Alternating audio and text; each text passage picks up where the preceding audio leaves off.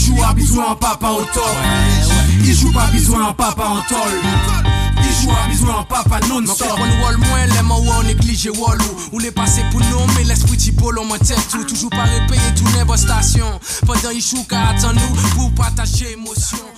Bonjour, bonjour, bonjour, bonjour tout le monde. J'espère que vous allez bien. C'est un grand plaisir pour moi de vous accueillir dans votre émission Papa par génité. Je répète, Papa par génité. La famille, la relation, en fait du moins le relationnel, excusez-moi, entre hommes, femmes et enfants, c'est notre dada, c'est notre travail, c'est notre chantier. On le fait avec passion. C'est super intéressant. J'espère que ça vous intéresse aussi. Moi, ça m'intéresse. C'est pour ça que je suis là. Hein. En tout cas, non, en tout cas, c'est un grand, grand plaisir d'être ici aujourd'hui. Jonathan n'est pas là, il n'est pas tout prêt, mais je sais qu'il est toujours présent de loin. Il n'y a aucun problème, on lui fait une big dédicace, on lui demande de se reposer un petit peu, hein, de profiter, profiter du moment. C'était mon tour la semaine dernière, là c'est lui. On essaie d'alterner tout ça. En tout cas, où que vous soyez, qui que vous soyez, c'est un plaisir de vous accueillir dans l'émission. Aujourd'hui, je reçois une association qui s'appelle Soli Réseau. Je répète, Soli Réseau. S-O-L-I-R-E-S-O. J'ai pas fait de bêtises Non. D'accord, Soli Réseau. Je reçois Madame Corinne Charles et Joshua qui vont, avec qui je vais parler de famille. Savoir concrètement euh, où on en est selon nous euh, concernant la famille. Ou du moins où, où en est la famille, pardon.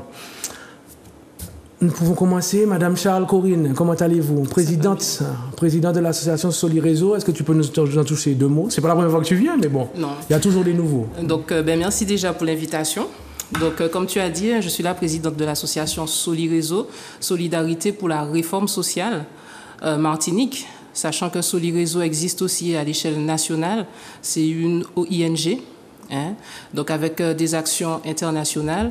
Et le concept de Réseau, qui consiste à renforcer l'homme, la femme dans leur dynamique de vie, euh, m'intéressait.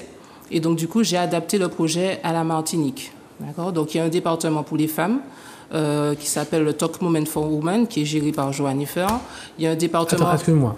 Je veux que tu respires et que tu me répètes ça. Comment s'appelle euh, le secteur femme? Talk Moment for Women. Ok, merci. Donc des espaces d'échange et de partage. On a mis ça en anglais, c'est plus. voilà. C'est plus fashion. Voilà, donc euh, moment d'échange et de partage, on va dire, pour les femmes autour de différentes thématiques, mais c'est essentiellement euh, le rôle de la femme, la féminité, la maternité, hein, qui reviennent régulièrement sur la table comme sujet. Euh, il y a un département qui est réservé aux jeunes aussi, aux jeunes adultes, qui s'appelle Talent Yourself, qui a pour but de mettre en avant le potentiel de la jeunesse. Il y a un département qui va ouvrir pour les jeunes ados, qui sera géré par Christopher et Taiwan, c'est en cours de travail ah, puisque les, deux jeunes hommes m'ont demandé justement d'ouvrir euh, ce département pour qu'ils puissent aussi faire bénéficier euh, leurs camarades de, des ressources de Solirizo. Euh, il y a un département pour la parentalité, parentattitude, dont je suis la responsable. Et récemment, on a ouvert le département des hommes avec Joshua Doukwame. Voilà. Ah oui, j'ai toujours ton nom, j'ai toujours ton prénom. C'est vrai, c'est vrai. Mais tu vas te, on va te, Merci Corinne. Voilà. Eh bien, monsieur, Monsieur Joshua. Alors, redis-moi ton nom. Adoukwame. Adoukwame. Je l'ai bien dit. Hein? Très bien dit. Ok, ça m'a non, c'est bon. Ok, comment vas-tu? Oui, très bien, très bien, merci. Eh bien, un plaisir de te recevoir dans l'émission. Hein. Comme je te disais, tranquillement, tu, ça fait pas très longtemps que tu es revenu. Hein? C'est ça. Et euh, tu, as fait tes, tu as tes propres constats. Donc, je te laisse te présenter tranquillement. Ah, mais moi, c'est Joshua Adoukwame. Je, suis, euh, je dirige le secteur des hommes de ce réseau qu'on vient de lancer il y a pas très longtemps. Et euh, que dire encore?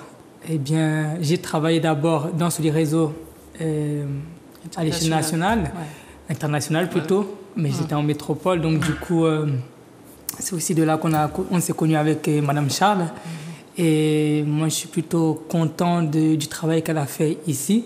Et c'est pourquoi je suis venu prêter main forte et ouvrir le secteur des hommes et travailler avec chaque homme, femme qui est engagé pour euh, cette, euh, comment dirais-je, ce changement dont on a besoin dans la société.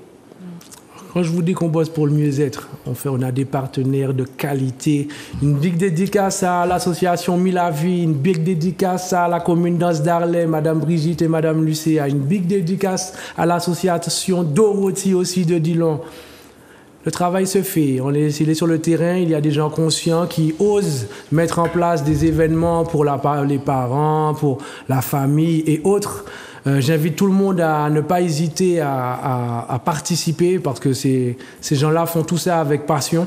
Nous travaillons avec passion parce que nous aimons nos, peuples, nous aimons nos communautés, nous aimons nos familles et euh, c'est important pour nous de, viser le mieux-être. Eh bien, les amis, nous allons rentrer directement dans la thématique, hein, tout simplement. Ben, la famille. La famille, c'est quoi aujourd'hui La famille, selon vous? Comment va la famille aujourd'hui, selon vous? Aujourd'hui, quand vous regardez à droite, à gauche, est-ce que vous la sentez toujours présente? Est-ce que vous le sentez qu'elle a besoin d'aide? Comment vous la voyez là? Comment vous la percevez? Je commence ou... Ah, honneur aux dames.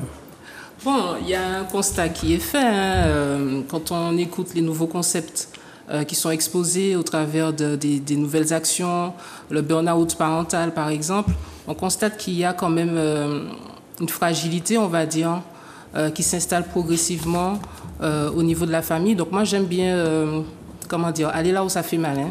Donc faire les constats négatifs, bien sûr il y a des choses qui sont positives, mais euh, aller là où ça fait mal, c'est identifier ce qui ne va pas pour pouvoir le traiter et aller de l'avant en fait. Donc euh, comme dit, la fragilité parentale, euh, que ce soit du côté de la mère, que ce soit du côté du père, que ce soit du côté du couple, que ce soit du côté, de l'enfant du moins. Et donc du coup, ça fait que la famille même, le noyau familial, a tendance justement à être fragilisé, à exploser en fait. Et donc du coup, nous, nous sommes là justement pour pouvoir apporter cette dynamique, pour pouvoir consolider les failles et pourquoi pas redynamiser, relancer la famille là où elle devrait être. Ok, Joshua, quel est ton constat de ce que tu as perçu? Eh bien, moi, je dirais que je vais dans le même sens que Madame Charles, où euh, on a vu l'émergence de plusieurs types et modèles de famille aussi. Et si je peux dire, l'état de santé de la famille n'est pas au, au, Beau fixe au beau fixe, exactement. Et ne se porte pas vraiment très bien. Et euh, il y a des choses positives, bien, mais voilà, comme dit, ce qui marche, on ne va pas forcément en- trop en parler parce que ça fonctionne, c'est bien, mais où il faut travailler, c'est sur les points où ça va moins bien, voire où ça va pas du tout. Et je pense que même dans l'actualité, le fait d'entendre que des enfants qui tuent leurs parents et des parents qui Ouf, tuent leurs voilà. C'est, je pense que ça en dit long sur comment se porte la famille d'une manière euh, générale. Et également aussi, ben, c'est vrai qu'on sort de cette période, enfin on sort. Oui, en disant ça, on, ouais. voilà, on transite de la période Covid à une vie on peut plus euh, libre et on peut plus normale. Mais euh, on a constaté beaucoup de féminicides, des violences conjugales. Donc, voilà, si on, on peut résumer, c'est que la famille n'est pas vraiment en très très bonne santé. Donc, euh, voilà. Bon, je me permets de répondre à ma question. J'ai envie de participer, hein, j'ai envie de participer. Sens-toi libre. Non, mais en fait, je vous suis. hein. Alors moi, je la sens toujours aussi présente parce que pour moi, la famille est la seule qui traverse toutes les époques, en fait. C'est-à-dire qu'il n'y a pas une époque où on peut... la famille n'est pas présente en réalité. Mais j'ai un peu l'impression qu'elle est en perte de vitesse ou du moins ou en perte d'estime. Euh, j'ai l'impression qu'elle perd de la valeur euh, de plus en plus.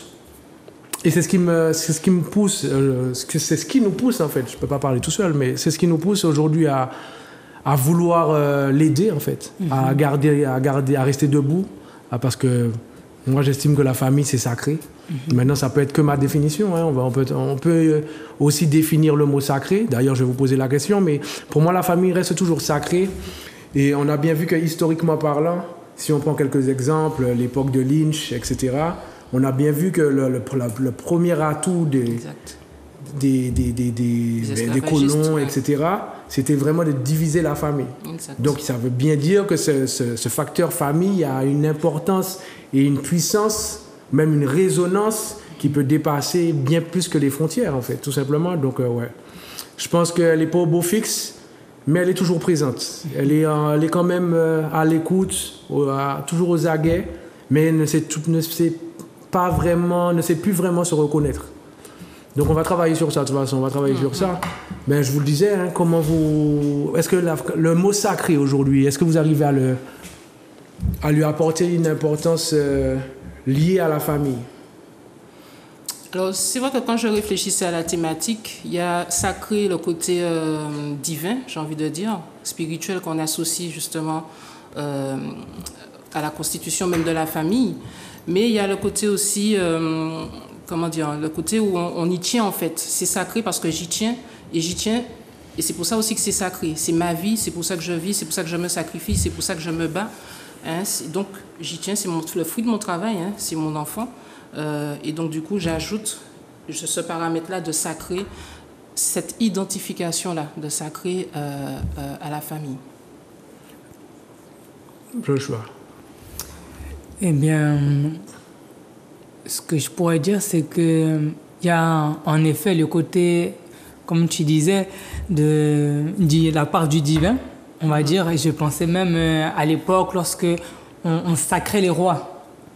Donc il y avait cette part où on sent que, bon ça c'est dans les, les, les systèmes où on, on reconnaît la place de, de, de, Dieu, on va dire, prenons ça comme ça, et où le, le monarque est dépositaire de cette autorité-là divine et qui, qui maintenant construit en fait un modèle euh, de société, qui gère la société, on va dire ça comme ça, pour être vraiment en cours. Et quelque part, la famille, c'est ça, c'est ça a son importance, c'est fondamental, c'est le, on va dire, c'est pourquoi le côté sacré, ou c'est le socle en fait de toute chose. Et la famille, quelque part, c'est le, la base, c'est le noyau de la société. Tu construis bien ta famille, tu auras une bonne société. Tu construis mal, où il y a des problèmes dans la, famille, forcément, il y aura des problèmes dans la société. Mhm. D'où le caractère sacré. Ok. Alors, faire tout. Attention avec tes ouais, C'est juste ça, parce que comme ça fait le bruit. Comme ça. Juste ça. Mais t'inquiète, ce n'est qu'un détail. Ce n'est qu'un détail. Tu as du feeling, t'inquiète pas. Tu as du feeling. tu as du feeling. Non, mais je suis d'accord. Hein, moi, je, moi, si je, je, peux dire que, oui, moi, j'estime que c'est sacré. Moi, je sais pas. Chaque membre de la famille a pour moi une importance, a une puissance, a une énergie, a une, comme je disais, une résonance euh, particulière. Autant chaque individu dans le foyer a sa, son, sa propre identité, autant les identités euh, savent euh, ne faire qu'une en fait. Et c'est pour moi, c'est ce que j'appelle l'équilibre du foyer en fait. Donc ouais, non, je suis assez d'accord. Maintenant, comme je répète, hein, on a bien compris que depuis longtemps, c'est la famille qui est visée en premier. Et on voit qu'au fil des années, il y a beaucoup de dysfonctionnements dans la communication. Alors certains diront que c'est la communication, certains diront que c'est la, la, compréhension, ou du moins l'incompréhension. Mm-hmm. Euh, selon vous, le, le relationnel homme, femme, enfant, est-ce qu'il est si compliqué que ça aujourd'hui? Est-ce que qu'est-ce qui, qu'est-ce qui Qu'est-ce qui pêche? Qu'est-ce qui ne fonctionne pas Ou fonctionne pas assez? Bon, dans, le relationnel homme, femme, enfant, il euh, n'y a pas que l'homme, la femme et l'enfant. Il y a le contexte aussi dans lequel vivent euh, cette, tripartite en fait. Le contexte et euh, aussi l'organisation sociale qui amène son influence aussi dans, le contexte familial. Maintenant, l'influence va dans quel sens? Est-ce que c'est la famille qui impacte la société ou est-ce que c'est la société qui impacte la famille? Et selon le sens dans lequel ça va fonctionner, euh, la relation entre l'homme, la femme et les enfants euh, va différer. Mmh, mmh. Ok. J'approfondis Oui, je vais approfondir. non, mais on est là pour approfondir. On est là pour approfondir. Hein. On est là pour euh, échanger. Il n'y a aucun problème. Je réfléchis à ce que tu disais. Voilà. Donc, en fait, tu vois, il y a un modèle social, familial qui est exposé. Euh, il y a des clichés qui sont véhiculés. Et quand on essaie de vivre selon ces clichés-là, en tous les cas pour ma part, quand j'ai essayé de vivre selon les clichés, euh, je me suis retrouvée plus détruite, perdante que vivant, profitant de la vie en fait. Et j'ai vu que ça avait des répercussions sur les enfants, puisque je suis maman de deux garçons, deux adolescents. Et euh, je me suis positionnée à un moment de telle sorte à ce que je me suis projetée en me disant, mais qu'est-ce que j'attends, qu'est-ce que je veux pour mes enfants en fait? Quel style de société je veux pour mes enfants? Euh, Quel style de, comment dire, de contexte euh, politique, social et tout je veux pour mon enfant? Donc je me suis posé la question et je n'ai pas la prétention de pouvoir répondre à tout, mais je, me suis positionnée de telle sorte à ce que je puisse amener ma contribution dans la construction sociale. Tu vois? Et donc, du coup, l'influence par ira dans le sens où famille, en tous les cas moi, vers la société. Pourquoi? Parce que de par l'organisation euh, associative sur les réseaux, l'objectif est justement d'amener cette réflexion, que ce soit au niveau de la femme, que ce soit au niveau de l'homme, et aussi des jeunes, des enfants, euh, pour pouvoir justement se ressourcer, mais aussi se redynamiser, se connaître soi pour amener une nouvelle dynamique dans la société. Pourquoi? Parce que je suis quelqu'un, j'ai de la valeur, et donc du coup, je suis aussi maître de mes choix, de mes décisions. Donc, je suis capable d'analyser telle et telle euh, doctrine, telle et telle euh, idéologie, de voir si je suis prête ou pas, si je valide ou pas ces choses-là dans ma vie, si je les laisse rentrer dans la famille, pour pouvoir justement traiter l'information correctement et voir comment j'interagis avec la société. Donc il y a un sens dans lequel les choses vont. Il y a un sens calé. Voilà. Hmm, ouais, je comprends. Je- euh, Tu veux rajouter quelque chose, Joshua? Oui, je pense que hum, il y a beaucoup de, de facteurs. Par exemple, tu parlais de la communication. Et moi, je trouve que c'est important, fondamental. Et compte tenu du contexte, c'est pourquoi aussi c'est vrai. Je, je vais dans ce même sens que toi, où on, on intériorise l'extérieur, les choses de l'extérieur. C'est-à-dire qu'aujourd'hui, les réseaux sociaux sont et deviennent un frein, par exemple, à la communication entre les parents et les enfants. Parce que euh, on a une journée de travail, on rentre à la maison, les enfants rentrent de l'école, et au lieu de passer des moments qualitatifs, parce que déjà on n'a pas forcément du quantitatif, mais le peu de temps que nous avons, au lieu que ça soit des activités avec les enfants, je me souviens à l'époque, les, les parents faisaient des jeux de société, certaines choses. Donc ça faisait passer du temps, ça nouait en fait, les, tissait les liens, tandis qu'aujourd'hui, tout le monde est sur ce Instagram, sur Facebook, bon, non, Facebook aujourd'hui, non, Instagram, TikTok, etc. Les jeunes, c'est ça. Et d'autres activités. Maintenant, on voit aussi euh, les jeux en ligne, etc. Donc, les enfants, les jeunes sont sur ça. Et c'est difficile de les faire décrocher. Donc, du coup, il faut lutter pour même à, à ce qu'il y ait cette communication. C'est pas toutes les familles, évidemment, mais lorsque j'entends un peu là, un peu là, un peu là, et les retours que j'ai, c'est beaucoup de ça. Où les réseaux sociaux ont pris cette place-là, et presque prédominante dans la famille. Et les, les parents, donc voilà, après, c'est des échanges. Les, l'homme, la femme, ils sont aussi pris par le travail. Et souvent aussi, les discussions, au lieu de laisser le travail à la maison, tu as passé une sale journée, ben, tu vas parler de ça avec madame, ou tu parles de ça avec monsieur. Et en réalité, vous parlez et vous interagissez plus sur les choses de l'extérieur que finalement la construction de votre couple, de votre euh, famille, tout bonnement. Donc au final, la famille, c'est pourquoi aussi elle va un peu à la dérive, où il y a ces mal-être, ces malaises, parce que il n'y a pas une communication qualitative. Et des fois même, tu n'as même pas envie de parler parce que la journée était tellement longue, tu te mets devant la télé ou devant ton On a ordinateur. besoin d'évacuer. Voilà, journée. donc c'est ça. Ben, ça me rappelle ben, une petite dédicace encore hein, à, à l'association Milavi, avec qui euh, Papa Paginité travaille sur les quatre temps de la parentalité. Ce qu'on appelle les quatre temps de la parentalité, c'est-à-dire le temps pour le, temps de travail, le temps de la famille, le temps du couple et le temps personnel, ce qu'on appelle le me time. Et euh, c'est très important de suivre ce travail. Je vous invite à aller sur toutes les pages euh, Papa Paginité, hein, quel que soit le réseau. On est partout. On est partout, même sur le terrain. C'est très important de, vous approcher de, nous qu'on puisse euh, aussi vous transmettre ces informations. Euh, de toute façon, bientôt, il y aura une conférence euh, par rapport à ces quatre temps de la parentalité, mais on en reparlera plus tard. C'est en train de, se mettre en place tranquillement. Il est vrai que le portable, bon, je veux dire, on, a sauté quelques étapes, mais on va revenir dessus, mais il est vrai que le portable est l'outil aujourd'hui qui devient quasiment le, un nouveau membre de la famille, tellement il a pris, comme tu expliquais, de la place au sein de la famille. Euh, dédicace aussi à toutes les personnes qui participent euh, sur les groupes WhatsApp ou les groupes Facebook ou Insta même, parce que hier, par exemple, il y a un, papa qui, m'a, qui a laissé un message en disant que euh, se sent perdu en fait. Il, euh, il, n'arrive plus à suivre le rythme de sa propre famille, de ses propres enfants, parce qu'aujourd'hui, les outils ont pris le monopole sur la concentration. Ce qui veut dire qu'aujourd'hui, quand il rentre chez lui, ben, il, il se retrouve à rappeler euh, 50 fois ses enfants avant qu'ils ne, ne daignent réagir. Il se sent pas écouté. euh, il, constate de la déconcentration au niveau de ses gosses, c'est-à-dire qu'il demande de, de faire une corvée, par exemple. Et euh, en quelques secondes, il constate que l'enfant a déjà oublié tellement il est focalisé sur son portable, par exemple. Après, d'autres adultes aussi signalent que les adultes qui ont, eu la chance de grandir sans les, cette, euh, ce nouvel outil tombent aussi dans le piège.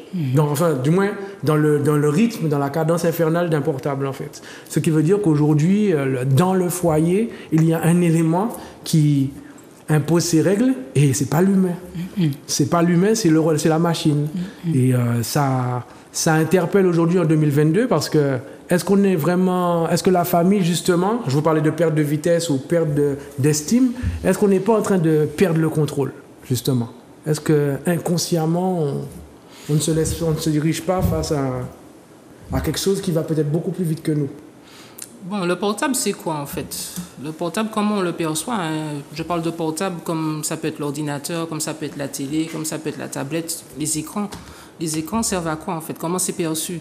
Donc, soit c'est un exutoire, hein, un moyen de décharger euh, la pression du jour, soit c'est un moyen un outil d'information, soit c'est un outil de communication. Maintenant, comment on le gère? Comment on quelle place on lui donne justement dans notre vie de façon individuelle et personnelle, déjà en tant que parent? Donc moi, je suis maman, euh, le portable, comment je le vois? Est-ce que c'est euh, quand je sors du travail, je suis fatiguée, je me mets dedans, les enfants, allez, allez dans le portable parce que j'ai besoin de me reposer Ou est-ce que le portable, c'est justement une communication, un moyen d'information, etc. Et c'est là où justement, selon la réponse, que euh, ben, cet outil deviendra soit une arme de destruction, j'utilise le mot arme parce que c'est ça, hein, c'est une arme silencieuse de destruction de la famille, soit ça deviendra juste comme un meuble en fait. Un Donc, objet c'est- Un objet, voilà. Donc c'est à nous euh, de définir euh, justement euh, ce qu'est le portable pour nous, pour la famille, sachant qu'il n'y a pas que le portable non plus euh, qui vient... euh, c'est un élément perturbateur, mais il n'y a pas que le portable, en tous les cas, qui vient euh, perturber, court-circuiter voilà, les relations familiales. Euh, Il y en a beaucoup qui préfèrent, alors je parle de façon générale, hein, qui préfèrent accuser le portable plutôt que de se remettre en question pour identifier les failles personnelles qui empêchent la communication, qui empêchent justement euh, de parler avec son partenaire de vie. Tu vois, il y en a beaucoup qui vont te dire, ouais, mais elle est toujours dans son portable, c'est pour ça que je ne lui parle pas. Alors que de base, si elle s'est mise dans le portable, c'est parce que justement, tu ne lui parlais pas. Donc, au final, le portable, c'est pas le problème. Le problème, c'est nous, en fait. C'est les humains. Tu vois, donc, euh, c'est nous qui contrôlons les machines, en fait. C'est pas les machines qui nous Faut contrôlent. pas, faut pas qu'on l'oublie. Voilà. Et si la machine arrive à nous contrôler, c'est quand quelque part on l'a laissé nous contrôler, on l'a laissé occuper un espace qui ne lui revient pas. Et euh, ben, elle fait ce qu'elle veut de nous, en fait. Et de nos enfants. Et une fois que les enfants sont pris, là, il y a encore une autre bataille. Moi, j'ai l'impression qu'on remet aujourd'hui euh, la fiabilité de la famille en question. Tout. La pertinence du que- père, la pertinence de la mère, euh, Les les, droits, les, les rôles. euh, Est-ce que, tu sais, il y, a- il y a une- copine à moi qui avait utilisé cette expression-là, des papas fantômes. Ils sont dans la maison, ils sont là, ils ramènent des sous, ils ramènent à manger, mais euh, ils ne sont pas présents. Il n'y a pas de partage émotionnel, etc. Il n'y a rien. C'est un peu la différence qu'on fait entre, enfin moi en tout cas, entre géniteur, père et papa. Mm-hmm. C'est, je rappelle, hein, on rappelle, géniteur c'est celui qui procrée mais qui n'assume aucun rôle. Euh, le, père c'est celui qui a sa, sa propre perception de son rôle, c'est-à-dire euh, en général amener de l'argent sur la table, nourrir que, que son foyer ne manque de rien. Et le papa c'est celui qui dépasse tout ça en fait. C'est celui qui est vraiment dans l'émotion, dans l'échange euh, émotionnel et qui ne se laisse pas en fait pervertir, si je peux employer ce mot-là, par des facteurs extérieurs, en fait. Il, est, il fonctionne avec son amour et uniquement avec son amour, en fait. Ouais, ouais, c'est- très important. Mais, et toi, Joshua, la fiabilité de la famille, ça te dit quoi aujourd'hui? Est-ce que tu sens que la société, le système, le gouvernement, est-ce que tu sens qu'on leur met... Est-ce que vous sentez, en fait, que la, que la famille subit de la pression ou c'est elle qui, qui qui s'accorde cette pression? Je pense que c'est une bonne, très très bonne question. Merci, merci, j'ai travaillé, j'ai préparé tout ça. Euh, je pense que hum, s'il y a des deux, d'une certaine manière. C'est normal que la famille euh, se donne une pression et qu'elle exerce une pression aussi parce que euh, on prenait le cas des téléphones. Si tu n'es pas vigilant, on ne veille pas à sécuriser ça, mais justement c'est la dérive. Et c'est pas forcément quelque chose qui est extérieur. Les parents sont libres de pouvoir acheter des outils informatiques ou pas. Maintenant, dans le cas où ils le font, et c'est quelque chose qui pour moi a du sens parce qu'au vu du 21e siècle, de notre ère, etc., ça sera euh, priver les enfants et nous-mêmes de l'évolution. Donc il faut vivre dans notre temps, fonctionner dans notre temps. Donc voilà, et c'est un peu comme euh, on parlait de, du téléphone, on parlait en fait de toutes les machines, mais je pense que c'est tout en réalité parce que même l'argent, c'est la même chose. En fait, et ce sont des instruments, des outils dont nous avons le contrôle, nous, ou du moins dont nous devons avoir le contrôle. Si maintenant nous perdons ce contrôle, c'est notre faute en réalité. C'est pas forcément quelque chose d'extérieur. Et hum, je pense, pendant ce temps que Mme Charles parlait, et j'ai repensé un petit peu à ben, Steve Jobs. Et iPhone, Apple. Mais il n'a jamais permis ses enfants, si je me souviens bien, de pouvoir avoir eux-mêmes des téléphones jusqu'à du moins un certain âge. Parce qu'ils connaissaient en fait l'outil et les dangers. Maintenant, moi, je dirais pas forcément dans ce sens-là, mais c'est de plutôt avertir, prévenir, informer et être soi-même conscient de euh, la puissance, si je peux dire ça comme ça, de ces machines-là et que ce soit les machines, même l'argent, comme je le disais, parce que les enfants peuvent mal tourner à cause de l'argent. J'ai pu observer, voir comment euh, certains jeunes ou les parents les privés de certaines choses ont fait des mauvais choix, vendre de la, de la drogue, etc., être entraînés dans de mauvais circuits pour pouvoir se payer et s'offrir certaines choses. Donc, voilà un mauvais rapport à l'argent. Il y a beaucoup de choses. Donc, il y a, cette pression-là que la famille doit euh, se mettre.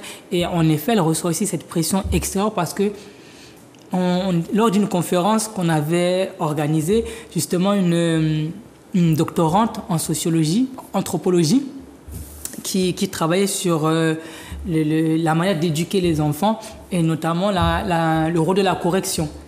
Et, et après, chacun pense comme il veut, mais certains sont partisans de la correction, on va dire physique, et d'autres aux punitions physiques, si je peux dire ça comme ça, et d'autres non. Mmh. Maintenant, aujourd'hui, le gouvernement interdit ça, de pouvoir toucher, corriger euh, physiquement, de mettre des fessées, etc., à ses enfants. Donc, il y a aussi cette pression-là. Donc, la famille n'est plus forcément libre de pouvoir euh, fonctionner comme euh, elle souhaite, si je peux dire ça comme ça. Ouais, ouais. le, oui, effectivement, il y a beaucoup de personnes qui se disent, mais aujourd'hui, c'est le gouvernement qui nous explique comment on doit gérer notre famille. Mm -hmm. Et déjà, le, que le, le, le, relationnel entre population et gouvernement est déjà conflictuel. Donc, c'est difficile de se dire quand même que c'est le gouvernement aujourd'hui qui me dicte ces lois et je dois obéir, sinon euh, mm -hmm. je suis sanctionné. Alors que c'est mes pro, ce sont mes propres enfants, c'est mon propre foyer, c'est moi qui gère, entre guillemets. Mm -hmm. Non, c'est vrai. Comment, comment tu perçois ça, la, la vision du gouvernement euh, face à la famille? Bon, c'est pour ça que je disais euh, tout à l'heure là qu'il y a un sens dans lequel les choses doivent fonctionner, à savoir l'influence, elle, de, elle vient d'où en fait? Soit de l'extérieur vers la famille, soit de la famille vers l'extérieur.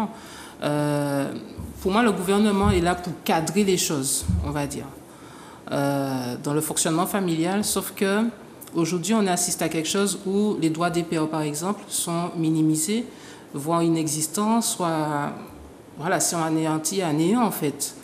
Euh, Je suis pas tout à fait d'accord.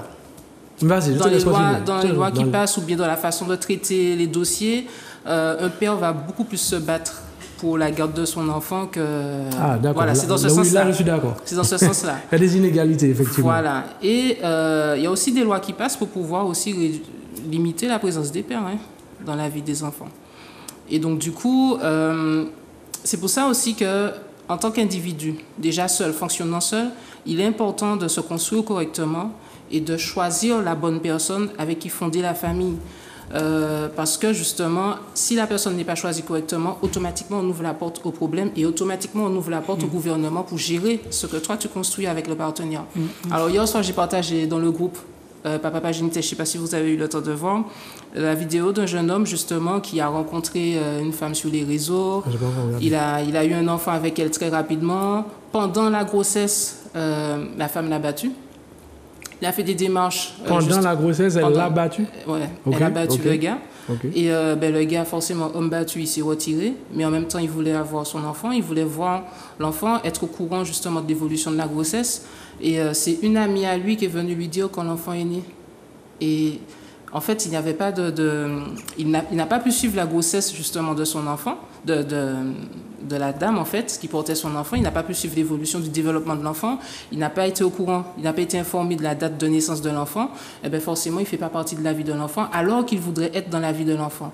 Maintenant, il a entamé des procédures pour pouvoir avoir son droit de père, exercer son droit de père, chose qui lui a été expressément refusée. En tous les cas, très limitée. Tu vois? Et euh, là, quand on analyse la chose, ok, elle était jolie, ok, je l'aimais, ok, ça matchait, ok, il y avait le courant, ok, il y avait tout, mais au final, quand l'enfant a été constitué, il n'y a même pas eu le temps d'avoir une vie de couple, hein. quand l'enfant a été constitué, les, problèmes se sont installés, et avec les problèmes, eh bien forcément, la gestion gouvernementale. Ben, si, je, si, je, peux me permettre, le, moi, ce qui me, qui me titille un peu avec euh, cette histoire de gouvernement, c'est que Déjà, quand tu l'enfant arrive, en fait, on dit bien au père de, on donne un choix au, père, au papa, en fait. On donne un choix aux hommes. Est-ce que vous voulez vous assumer votre rôle de papa ou pas? Je trouve que déjà là, ça me perturbe déjà. Bien sûr, il y a des situations un peu plus euh, compliquées, compliquées hein. on parle de viol, etc. Mm, mm, mm. Mais dans, dans, la base même, sans mettre ces problèmes-là, je trouve comme ça quand même bizarre qu'on euh, donne euh, ce choix à un homme en fait. Mm, mm. Pourquoi? C'est pour ça que je disais qu'on éradique là, on efface l'homme du schéma familial. Ben ça, ça effectivement, ça dévalorise un peu le, ça déséquilibre un peu, euh, ça désoriente. Voilà, je cherchais le terme. Ça désoriente l'homme parce que en fait moi qui viens là en tant que qui veut assumer mon rôle de parent pleinement, j'arrive et on me dit oui, mais est-ce que vous voulez, vous êtes sûr? Mais je dis, mais c'est comme si limite, c'est comme si on est en train de me dire, euh, tu, vous êtes sûr que vous êtes capable de faire, d'assumer ce rôle, tu vois?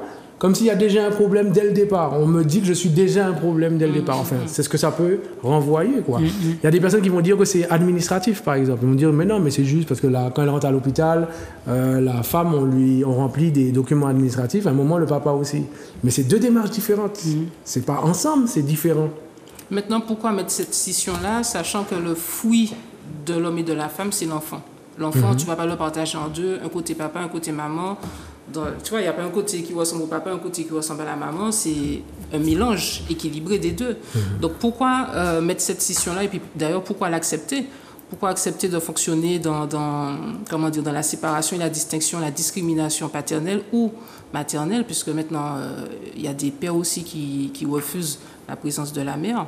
Pourquoi imposer justement ce fonctionnement-là, euh, sachant que automatiquement, hein, quand on retire un des deux parents, peut-être que l'un ou l'autre, père ou mère, va trouver son équilibre personnel, mais l'enfant automatiquement sera touché euh, par hmm. cette discrimination-là. Automatiquement. Mmh. Le choix. En tant que tu n'as pas oublié. Corinne et moi, on a l'habitude de discuter. non, mais j'écoute, c'est, c'est. Et la plupart du temps, nous sommes en accord, donc il mm-hmm. n'y euh, a pas de souci, au contraire. Non, c'est. Quand on voit un petit peu la, déjà la, la vision qu'on, qu'on donne de l'homme, euh, c'est toujours, euh, et souvent, pas toujours, mais très souvent, l'irresponsabilité qui est mise en avant, euh, certaines incapacités, la violence, justement en écoutant, et c'est venu vraiment à ça, alors mm. que je songeais à ça quand tu parlais d'inégalité, quand vous parliez d'inégalité, je me disais, mais même dans les violences conjugales, c'est vrai que lorsqu'on parle de violence conjugale, automatiquement, l'homme qui a frappé la dame, systématiquement. Et finalement, tu as abordé cet exemple-là. Je dis, mais tu pleinement, c'est pourquoi j'écoute attentivement parce que. Vous êtes connecté. Oh, exactement, exactement. Donc, euh, moi, je me disais, mais il y a cette inégalité-là parce qu'il y a des hommes aussi qui subissent des violences conjugales. Maintenant, et j'ai parlé justement de cela avec euh, un monsieur, un jeune homme également, et il me disait que, et ça ne s'est pas forcément passé ici, mais c'est pareil, que lorsque la personne est victime, et là c'était plus en réalité agression sexuelle plutôt, qui euh, a été victime de ça, et c'est un, jeune homme pour le coup, eh bien en déposant plainte et en entamant toutes les démarches, il n'a pas reçu le même accueil et, le même, la même considération, le même sérieux que lorsque c'était une femme. Donc il y a eu beaucoup de critiques. L'officier qui était une femme qui l'a reçu, lui a posé des, lui a posé des questions désobligeantes ou anormales même. Et il se disait, mais si ça avait été une femme, est-ce que de telles questions allaient être posées? Mm-hmm. Donc, ça démontre que dans, il y a une inégalité de traitement. On voit en même temps l'homme qui est fort, mais en même temps irresponsable. En même temps, en fait, tout est, mélangé, tout est confus. Mm-hmm. C'est ça, en fait, le problème. Donc, là, c'est le sexe fort dans, les violences, mais à côté de ça, il est incapable. Il n'est pas fort pour pouvoir assumer un enfant. Alors qu'il y a aussi des femmes aussi qui, ben, des femmes qui accouchent sous X. On leur pose pas la question forcément, ou pourquoi la même démarche n'est pas euh, entamée. Donc, du coup, il y a véritablement cette inégalité.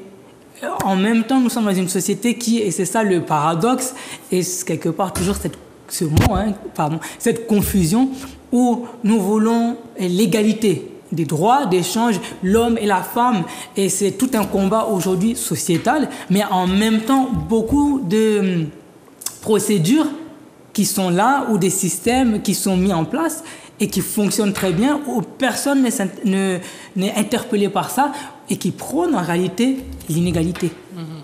Vous savez, vous, vous m'interpellez sur quelque chose là. Effectivement, il y a beaucoup d'associations qui, mhm. depuis des années, mettent des choses en place pour aider à la parentalité, la famille ou même d'autres thématiques. Mhm. Et euh, on a constaté au fil des dernières années qu'il est de plus en plus difficile d'attirer les hommes, par exemple, dès que, dès que la thématique se rapproche d'eux il est difficile d'attirer les hommes et d'entrer, on les critique, on les fustige, on dit ah ils viennent jamais, ah regardez, parce que j'ai participé, hein, je suis allé sur le terrain parce que moi vous me connaissez, mm, mm, hein, mm, je vais sur le terrain vérifier et je vois les réactions, je comprends les réactions, mais en même temps je trouve qu'on se, on ne dépasse pas le cap des constats, c'est-à-dire que on va constater que les hommes ne viennent pas. Les gens vont vous dire que ah ouais ils viennent jamais. Euh, ceci, cela, toujours les hommes. Alors je me suis dit, bon, à un moment donné, il faut peut-être chercher à comprendre pourquoi ils ne viennent pas. Et je regardais, j'ai regardé différentes, différents événements, différentes thématiques d'événements. Et je, je, sentais que les thématiques, en fait, accusaient l'homme, en fait. Enfin, pouvaient leur faire croire que directement, il y a un problème. Vous avez un problème. Voilà, c'était le message envoyé, c'est l'homme, tu as un problème. L'homme a toujours un problème. Mm-hmm. Si on regarde bien la société, l'homme est accusé de tout il est, accusé il est plus facile d'accuser l'homme de tout que de chercher à savoir qui sont les vrais fautifs. C'est toujours la faute de l'homme de l'homme. Donc à un moment donné, je me dis, bon, effectivement, ils viennent pas, mhm. mais ils ont forcément, il y a forcément une raison, il y a, ou des raisons. Et je me dis que déjà, en termes de thématique, ils se sentent déjà accusés je ne vais pas leur chercher, je vais pas leur chercher euh, des excuses, parce qu'il faut comprendre que c'est pas parce que tu te sens accusé que tu l'es forcément. Mm-hmm. C'est pas parce que tu es jugé que tu dois laisser le jugement prendre, euh, te marcher dessus en fait. Mm-hmm. À un moment donné, tu dois aussi t'assumer et puis dire, mais ben voilà, j'ai pas peur de ce jugement-là. Vas-y, on se pose là et on en discute. Je vous démontre que ce jugement-là n'est pas forcément, euh, c'est pas du 100%. Donc, à un moment donné, ça veut dire que chaque personne, chaque individu a une part de responsabilité dans ce qui se passe. Mhm. Tu le disais tout à l'heure, enfin vous le disiez, que ce soit dans le foyer ou hors foyer, chacun a une part de responsabilité. Et euh, oui, moi je vais accuser le gouvernement, parce que je vais dire le gouvernement a une vision qui ne correspond pas à la mienne. Maintenant, je ne je vais pas attendre sur le gouvernement pour éduquer mon enfant. Mhm. Je ne vais pas attendre sur le gouvernement pour comprendre qui je suis. Je serai tout, tout, tout possible commence par moi-même, en fait, tout simplement. Donc, à un moment donné, je me dis, je, m'adresse à tout le monde, hein, à toutes les associations, etc. Je me dis que à une certaine époque, ça a fonctionné de telle manière, avec tels outils, avec telle méthodologie. Les générations ont un peu évolué. Donc, ça demande peut-être, ça ne demande pas de d'effacer ce, que, ce qui a déjà été fait, mais est-ce qu'on ne peut pas y ajouter de la plus-value, des, méthodologies nouvelles, etc. Et à partir de ce moment-là, peut-être que l'homme va se sentir peut-être plus intéressés. Et quand je dis l'homme, je mets même la femme. Hein. Je mets même la femme, même les enfants. Est-ce qu'aujourd'hui, la parentalité ne doit pas rentrer dans les écoles? Est-ce que la parentalité ne doit pas rentrer dans les prisons? Est-ce que la parentalité ne doit pas rentrer dans les hôpitaux? En fait, vous comprenez ce que je veux dire? Mm-hmm. C'est-à-dire qu'à un moment donné, c'est plus qu'une question de, c'est plus qu'une question d'individualité. Mm-hmm. Il faut comprendre que la famille, normalement, n'a jamais été individuelle, en fait. On a bien parlé de socle sacré. Mm-hmm. Tous les membres ont un rôle à jouer dans l'équilibre du foyer, dans l'équilibre de la famille. Donc ouais, je pense que la famille subit beaucoup de pression. Mais maintenant, est-ce que c'est pas elle qui, qui se laisse aller à, obéir aveuglement, en fait? C'est aussi ça, il y a aussi ce problème-là. Moi, tu me connais, Corinne, obéir un- c'est mon cheval de bataille. Bon, après, il y a une perte de repère. hein. Aujourd'hui, euh, tu sais, quand, quand, quand tu parles à un enfant, tu lui dis, mais est-ce que tu sais que tu dois obéir à tes parents? Il va te dire, ouais, mais pourquoi faire? Pourquoi est-ce que je devrais obéir à mes parents? Quand tu regardes des parents, et ça, ça j'ai fait le constat, peut-être qu'en en une journée, euh, les mamans qui laissent leur enfant marcher dans la rue sans surveillance, elles sont à côté hein, dans leur téléphone, dans les parkings, dans la rue, puisque l'enfant a besoin de courir et une voiture peut rentrer euh, arriver à n'importe quel moment, à n'importe quelle allure. Tu vois, il y a une perte de repère aussi, une perte de définition par rapport à la responsabilité parentale. Euh, à quoi c'est dû? Est-ce que c'est une fatigue ou bien est-ce que c'est tu ignores ton rôle? Euh, Est-ce que tu as une méconnaissance par rapport à ton rôle, à l'étendue de ton rôle de parent? Est-ce que tu sous-estimes, tu ne sous-estimes pas toi-même euh, le danger qui, a, qui est en face? Est-ce voilà. que tu as besoin d'aide aussi? Est-ce que tu as besoin d'aide puisqu'il y a le burn-out parental qui, qui est dénoncé aujourd'hui Est-ce que toi-même tu as reçu les repères qu'il fallait étant enfant pour être une mère ou un père aujourd'hui? Donc aujourd'hui on voit qu'il y a plein de questions qui peuvent ressortir euh, de, de, de l'analyse qu'on fait de la parentalité. Et ce qui est bien justement avec les réseaux sociaux, avec euh, la société de 2022, c'est quoi? C'est qu'il y a plein de d'handicaps parentaux, on va dire ça comme ça, de la parentalité du moins qui sont exposés. Hein, la dernière fois, on avait fait euh, une émission sur l'inceste euh, qui peut instaurer sur du long terme, sur plusieurs générations, un mal-être euh, intergénérationnel, les viols, les viols aussi qui existent dans les familles, les violences intrafamiliales dont parlait Joshua là, durant le confinement Physique et et psychologique. psychologique. Donc, quand on regarde ces choses-là, on voit que le mal aussi peut être contenu déjà comme point de départ dans chaque individu. Et quand il s'exprime au niveau de la famille, eh ben, ça fait que ben, ça détraque que ce soit la femme, que ce soit l'homme, que ce soit les enfants. Et aujourd'hui, l'actualité, hein, elle est ce qu'elle est. hein. Quand on regarde l'actualité d'aujourd'hui, on en parlait tout à l'heure là. Euh, quand j'ai ouvert mon portable ce matin, c'était hier du moins, un gars, il a tué sa femme, ses deux filles, son chien, et puis il s'est suicidé. Et ça Et arrive voilà, de et c'est de plus en plus fréquent et, ce genre d'actualité-là est en train de, de, de- est récurrente hein, dans, notre, dans notre actualité. On écoute, on s'habitue et ça ne nous fait pas réagir jusqu'à ce que ça, ça nous arrive à nous. Et ça, c'est c'est vraiment dommage. Et moi, je pense que à un moment, il faut justement alerter, alarmer et prendre conscience du fait que il y a quelque chose à faire, il y a un travail à faire au niveau des familles, parce que quand on regarde aujourd'hui, tout à l'heure je prenais l'exemple des mamans qui laissent leur enfant courir dans les parkings, il y a une forme de fatigue, même une forme d'inconscience hein, euh, qui est présente, qui est latente et qui fait que euh, ça peut se retourner contre nous en fait. La- la famille, c'est. Faut, faut pas se voler la face, faut pas avoir peur de se dire que c'est dur hein, d'être parent. C'est clair. C'est dur, mais je pense qu'il y a beaucoup de personnes qui ont peur de le dire parce qu'ils pensent qu'il ne faut pas le dire. Non, mais le Parce qu'il n'y a pas de famille euh, modèle, universelle, ça n'existe pas. On n'est pas là aujourd'hui là en train de se dire, euh, les gars, il y a une seule manière d'être une famille. C'est pas ce qu'on veut dire. Mais effectivement, on a, on a ce besoin de euh, d'es- d'estime de soi et de, de concentration sur nous-mêmes aussi. C'est ce que tu disais, hein, c'est important. La, vérité, c'est quoi? C'est que être parent, c'est difficile. Ça, c'est une vérité qui est absolue et c'est inchangeable, c'est invariant, c'est à vie. Être parent, c'est difficile. Euh, c'est un combat en permanence, en- au quotidien. C'est c'est un travail de recherche, un travail de réflexion, c'est euh, de la créativité, c'est c'est tout le temps Des fois, en fait. c'est de l'improvisation. Voilà, donc il faut pas se mettre dans la tête que je vais faire un enfant et puis ce sera joli, ce sera facile, j'aurai tout. Ce sera carré c'est comme je pense, faut euh. retirer ça de votre tête. Dès le départ, il faut savoir que être parent, c'est difficile. Comme ça, au moins, quand on a cette vérité-là en tête, on n'est pas dans, dans le mensonge. Parce que c'est ça aussi. Il ne faut pas vivre dans le mensonge en pensant que être parent, c'est facile. Chercher la facilité là où elle n'existe pas plutôt que de chercher des solutions là où des problèmes se présentent, en fait. Mhm. Donc, euh, voilà. Très intéressant. Toi, tu, tu voulais rajouter quelque chose, Joshua Oui, je, je pense que déjà, le, le problème, c'est par rapport à la définition et ce qu'on entend par famille. Ouais.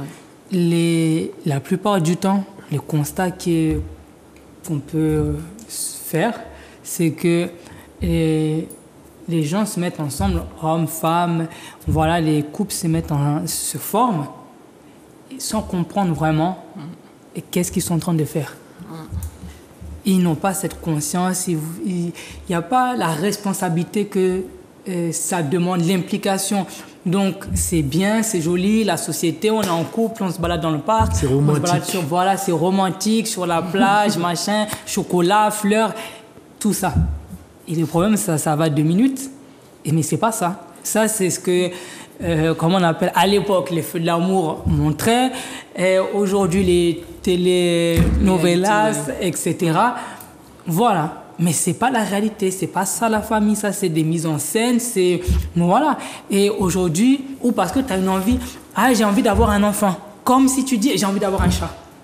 Donc tu vois, à l'animalerie, tu achètes ton chat, tu lui donnes à manger, tu... et il fait sa vie et tu comprends pas que l'animal fait sa vie. Il n'a pas besoin de toi. L'enfant, tu as des responsabilités. C'est pas ça. Donc il y a une difficulté, comme vous disiez, c'est difficile. Déjà, en réalité, c'est difficile même d'être un homme. C'est difficile d'être une femme. C'est difficile d'être un jeune. C'est difficile d'être un adulte. Donc la vie n'est pas facile. Donc pourquoi maintenant être parent, ça serait facile? Nous, Je pense qu'il y a des choses où les gens doivent...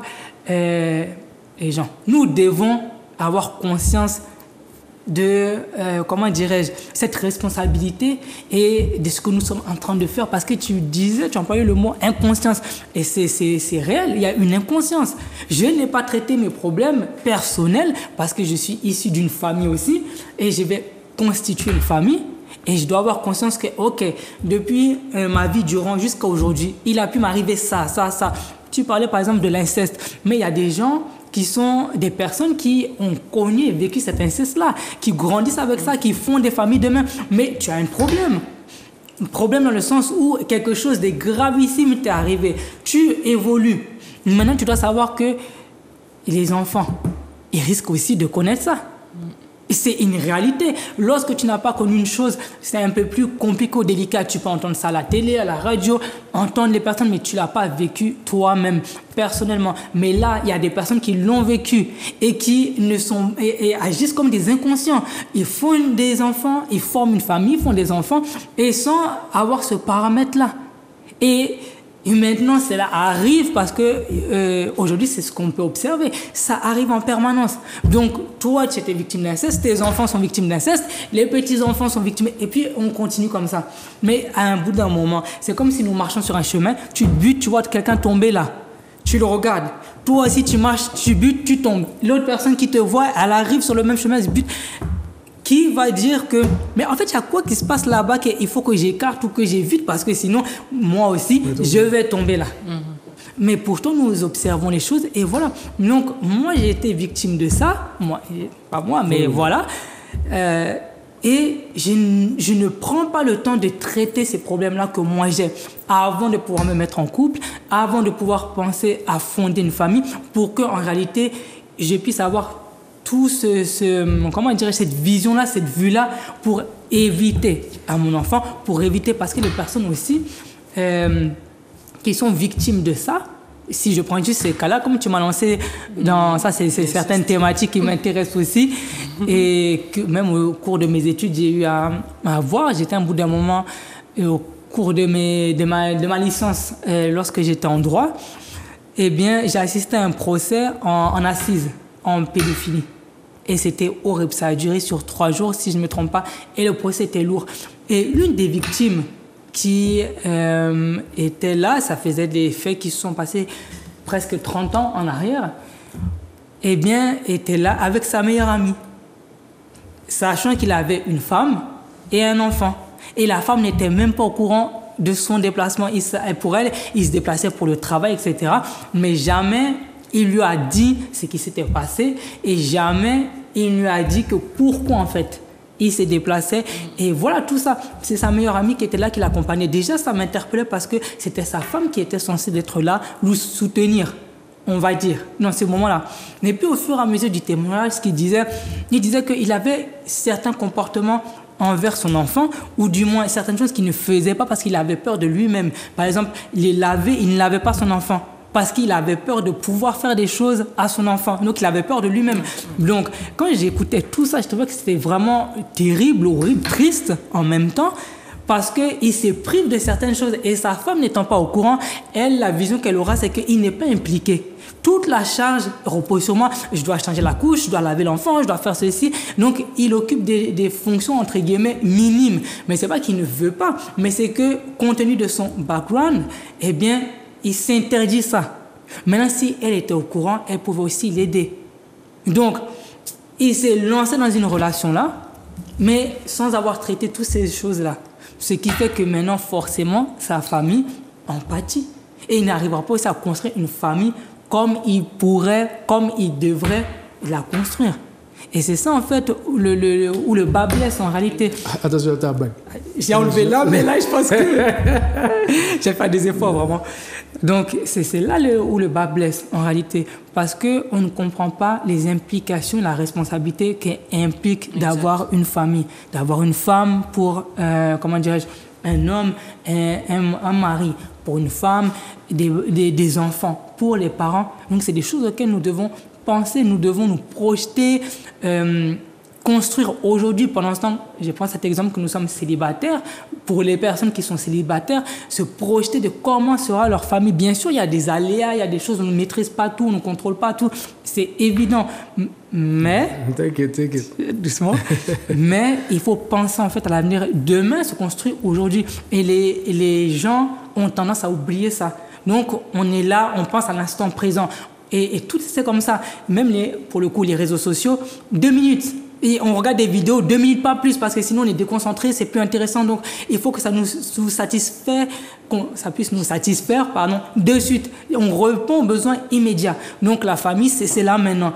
Et on, on, ne pense pas à toute cette responsabilité. Tout à l'heure, tu, tu parlais des hommes. Pourquoi certains hommes, d'une manière générale, n'étaient pas impliqués dans certaines activités, certaines choses qui les, les concernent? Et je repense à un film à, à l'époque que j'avais vu qui s'intitulait Où sont les hommes? Et si aujourd'hui on pose la question, ben on dira Ils sont pas là. Comme tu disais, parce qu'ils sont pas impliqués, parce qu'on les, on les, on les juge, on les pointe du doigt, etc. Mais moi, lorsque je, je vois cette question-là, où sont les hommes? J'ai envie d'être présent, même s'il y a des accusations, mmh. il y a toutes ces choses pour dire, mmh. ils sont là, nous sommes là. Donc, nous sommes responsables de par le fait que nous sommes là. Quelque part, les reproches que vous nous faites ne tiennent plus parce que ma seule présence est contre-cas c'est que vous êtes en train de dire. Mais le fait de ne pas être présent encore, ça renforce en fait cela. Cette, cette irresponsabilité, tous ces jugements, ces stéréotypes, ces préjugés. Mmh, je suis d'accord. Donc c'est ça le problème. Donc aujourd'hui, l'homme, pour moi, c'est celui qui est responsable. L'homme, la responsabilité est, est collée en fait à l'homme. Pour moi, c'est ça, est collée à l'homme. Maintenant, si nous prenons et nous investissons ça pleinement, et que nous travaillons sur ça, qui va nous reprocher? Ouais, C'est-à-dire qu'il y a des exemples et des, il faut des contre-exemples. En fait, ça. il y a des, des contre-exemples, en fait. Donc, ça. ce qui prouve que, ouais, effectivement, les, les dires ne sont pas forcément fiables à 100%. Exactement. Tu voulais dire quelque chose, Corinne? Donc en fait, euh, bon, on a parlé d'inceste, mais aussi on peut reprendre un exemple qui est courant ici, hein, qui est récurrent, l'absence des pères dans les foyers. Euh, une petite fille qui a grandi sans son papa, Hein, elle aura du mal dans la représentation du père, de l'homme du coup, et euh, ben, son choix de partenaire de vie se fera en fonction de la représentation falsifiée qu'elle a mmh. hein, de l'homme, avec des comportements associés, le manque de confiance, la jalousie, les accusations. Je t'aime, mais je ne veux pas que tu sois dans ma vie, je ne veux pas que tu sois dans la vie de l'enfant. Et c'est ainsi qu'on reproduit des schémas hein, ancestraux qui font que ben, l'homme ne trouve pas sa place dans la famille et automatiquement euh, quand il y a des disputes récurrentes, quand il y a de la violence, parce que chez l'homme, ça peut engendrer de la violence, ça peut engendrer aussi euh, des démarches administratives pour pouvoir avoir la garde de l'enfant, euh, ça peut engendrer tout, tout ce qu'on voit dans la société, hein, sachant que ce que je cite comme exemple, ce n'est pas une liste exhaustive. Euh, et amener justement cet affaiblissement dans la famille et donc du coup aussi la fragilisation de l'enfant qui assiste à toutes ces choses, qui sera l'adulte de demain, qui sera le parent de demain et qui pourra reproduire que ce que lui, il connaît. Mm. D'où la nécessité hein, de, de, de, de, sortir de ces schémas-là reçus, hein, ces, schémas, ces faux schémas reçus, euh, par rapport justement à l'exemple que tu donnais pour, euh, pour, comment dire, pour l'inceste. Il faut se traiter, il faut se soigner. Donc là, j'ai pris l'exemple d'une petite fille, comme ça peut être un petit garçon aussi qui grandit sans père, euh, qui voit les beaux-pères, les tontons défilés dans la maison. Chaque tonton, c'est, il est violent, il est alcoolique. Lui, qu'est-ce qu'il va reproduire? Qu'est-ce qu'il risque en tous les cas de reproduire comme schéma euh, comme type de modèle, comme homme lui-même, comme père lui-même, euh, il y a de fortes chances qu'il reproduise ce qu'il a vu en fait mm. dans la vie de sa mère. Moi, il est vrai que j'ai. C'était, vous me donnez tellement d'oxygène là que ça, m'ouvre les yeux. Euh, je me suis penché sur la question du géniteur. Mm-hmm. Parce que je trouve que la société ne, se, ne s'interroge pas sur ce, Mhm. sur ce, cet aspect-là. Cet aspect-là, parce qu'en fait, j'estime qu'il y a déjà différents styles de géniteurs. Il n'y en a pas qu'un. Un géniteur, finalement, c'est pas que l'homme qui veut pas s'occuper d'eux. Je pense que c'est un homme qui ne sait pas, qui ne comprend pas. Enfin, comment je peux vous dire ça? Je pense que le géniteur, ça ne tient qu'à moi. Hein. je pense que le géniteur est une personne, ou génitrice, donc, euh, donc est une personne qui euh, recherche l'attention qu'il n'a jamais reçue. Je pense que c'est ça. Et pendant de nombreuses années, cette personne n'a pas reçu d'attention pour X ou X raisons. Et ce manque s'est greffé en lui euh, tel un tatouage, quoi. Mm. Et j'ai entendu certaines histoires à droite et à gauche où des hommes, alors dans les histoires que j'ai entendues, c'était des hommes, hein, qui étaient pères de plusieurs enfants, etc., mais qui ne qui prenaient ça très à la légère en fait, mais qui avaient un comportement égoïste, c'est-à-dire qu'il fallait que tout soit concentré sur eux. Mhm. Sur les pères, je parle bien. Ils n'assumaient pas leur rôle. Alors, quand je veux dire ils n'assumaient pas leur rôle, je parle de pères. Ils assument leur rôle. Non, ils n'assumaient pas leur rôle en fait, en réalité. Ils n'assumaient pas du tout leur rôle. Les mères donc s'interrogent, se disent mais pourquoi il sait qu'il est parent et il fait comme si il ne sait pas qu'il est parent? Il ne sait pas qu'il a, des enfants. Il sait très bien. Et je me suis dit que, vous voyez, l'absence d'un parent, peut-être qu'on minimise ça, mais c'est quelque chose qui a un poids démesuré parce que, en fait, je trouve que c'est cette absence qui cause ce manque d'attention qui fait qu'aujourd'hui, il y a des hommes qui ne pensent qu'à eux. Ils ne pensent qu'à eux. Et quand ils reçoivent ce qu'ils attendaient depuis des années, ils le, ils le, comment dire, ils le, ils le privatisent en fait. Ils le privatisent et ne sont pas dans le partage parce que ça fait des années que j'attends ça, la, cette émotion-là. Maintenant que je l'ai, c'est tellement bon que je ne, je n'arrive pas, je n'ai même pas l'idée de partager ça mhm. avec les autres.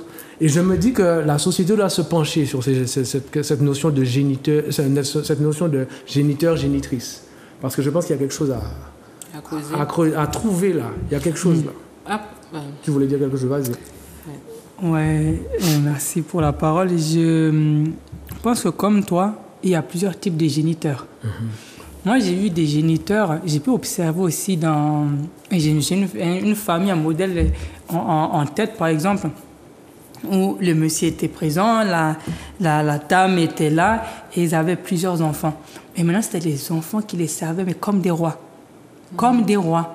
Et c'est vraiment au, sens où, et c'était choquant pour moi, où les messieurs rentrent du travail, et eh bien l'aîné vient, lui enlève les chaussures des pieds, nous l'installe au canapé, et il ramène le plateau avec la nourriture pour lui, et voilà, il se fait servir parce que lui n'a pas eu ça. Donc pour lui, c'est normal que voilà. La dame, c'est pareil. Elle est là, et, les enfants, ils rassemblent les enfants et les, enfants doivent les écouter raconter leur journée, comment ça s'est passé au travail, c'était difficile, c'est ceci. Mais lorsque les enfants ne font pas ça, ah, vous ne nous aimez pas, vous ne nous aimez pas. Et lorsque tu creuses aussi, tu vas te rendre compte que la mère était délaissée, elle était, euh, voilà, elle a tout fait pour la grand-mère, mais la grand-mère, il n'y avait pas forcément de reconnaissance, ceci, etc. Enfin bref, tout un schéma. Mais maintenant, au final, ils ont fondé une famille. Ce qu'eux n'ont pas reçu, ils attendent que les enfants puissent leur procurer. Hmm. Alors que tu ne fais pas des enfants pour ça. Et ils ont inculqué ça dans la tête de ces enfants-là. Ou demain, ils réitéreront ce même schéma parce que pour eux, eux aussi, ils ont servi leurs parents, leurs géniteurs pour le coup. Donc eux aussi, parce que c'est ça qu'ils connaissent et c'est ça qu'on leur a euh, inculqué. Il y avait un garçon dans cette fratrie-là. Et le père, la seule chose qu'il a pu lui communiquer, et pour moi c'est aussi quelque chose de, fou, c'est lorsqu'on a un homme, il faut juste supporter tout. Tu supportes, tu supportes, tu supportes. tu euh, mais pas supporter. Moi, j'aurais plutôt employé tu subis. Parce que comme il décrivait ça, c'est tu subis. Et les hommes, c'est ça, on subit. Il n'y avait pas ce sens-là de force, vraiment de supporter certaines choses de la vie, supporter la famille. Non, c'est tu subis. Et ça, c'était des géniteurs pour moi. Mais lorsque les jeunes pouvaient décrire, les enfants pouvaient décrire ce schéma-là familial, et bien, c'est dans une bonne famille, tout allait bien, le père était présent, il travaillait et il le répétait. Je travaille pour vous, je travaille pour vous, tout l'argent c'est pour vous, on achète ça, on fait ça. Donc pour eux, ben oui, le papa est présent. Mais la, la différence, c'est que c'est pas un père, c'est un géniteur. Parce que, oui, il amène les salaires, mais c'est la seule chose. Les enfants sont dans un mal-être total, mais ils sont inconscients du fait qu'en fait, ils n'ont pas de parents. Ils ont des personnes égoïstes, égocentriques, qui recherchent leurs propres intérêts. Tout ce qu'ils font, c'est tourner vers eux. Lorsque l'enfant ne fait pas telle chose, ils sont, euh, comment dirais-je, on les euh, culpabilise. Donc, j'ai pas fait ça pour papa ou maman. Ah, je suis un mauvais enfant. Donc, ils sont dans un faux schéma familial.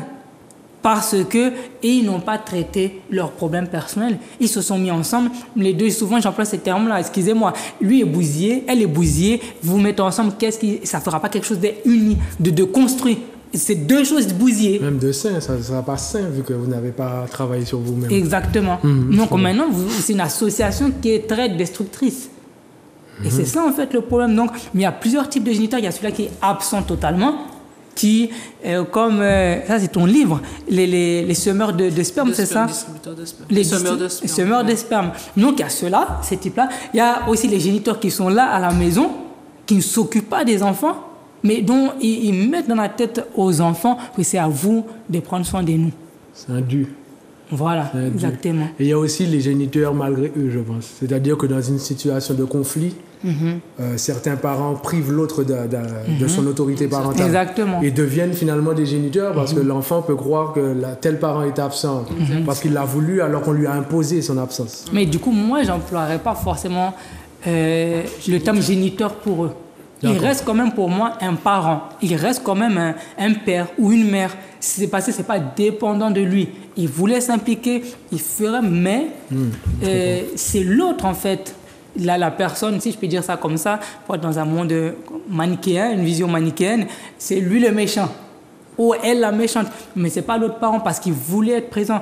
J'ai- rencontré justement plusieurs personnes ou qui ont voulu être impliquées dans la vie des enfants. Et là, c'est là où on voit tout ce qui est la euh, législation qui, qui complique les procédures, etc., qui quelque part empêche le parent de vouloir, qui veut s'impliquer, de s'impliquer. Donc, en soi, géniteur, il n'est pas. Parce que pour moi, géniteur, c'est vraiment le, fonctionnement, l'état d'esprit, la mentalité, c'est un tout. Et lui, il n'est pas un géniteur. Il voudrait, il veut s'impliquer, il veut être présent, mais on le prive en fait. Que ce soit le parent, que ce soit la loi, que ce soit. Voilà, toute une série. Des fois même, c'est la maladie. Mais il y a des enfants, des, parents. Et j'avais vu l'histoire aussi de, hum, d'une jeune fille qui était restée avec sa maman. C'est elle qui avait eu la garde parce que son père était, euh, était parti. Non pas qu'il le voulait, mais il y avait des circonstances qui l'obligeaient à partir. Elle était dans un état de précarité. Et la maman maltraitait la petite. Et du coup, elle s'est retrouvée, je ne sais plus vraiment bien comment, chez le papa. Et quand elle lui racontait les, les choses qui se passaient là-bas, les sévices, etc., il a voulu garder l'enfant. Mais c'est les services sociaux qui, en checkant l'environnement dans lequel le papa était, la précarité qui a mis un frein. Donc lui voulait, il, il- il a- il s'est battu pour pouvoir sortir l'enfant, sa fille, de chez la maman. Mais quand on voit le niveau des deux, eh bien, les services sociaux ont trouvé qu'il était préférable. Il Exactement. n'était pas apte à assumer son rôle. Voilà. Alors que lui voulait pleinement.